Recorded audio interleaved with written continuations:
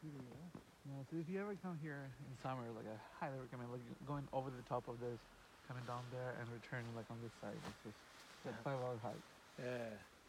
And there are some hikes here like uh, 12 hours, 16 just on this side.